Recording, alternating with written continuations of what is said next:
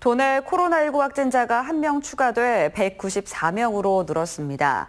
추가 확진자는 진천에 사는 40대 외국인 A씨로 지난 2일 확진 판정을 받은 30대 B씨의 회사 동료입니다. A씨는 무증상사로 어젯밤 최종 확진돼 현재 청주의료원에 입원 조치됐습니다.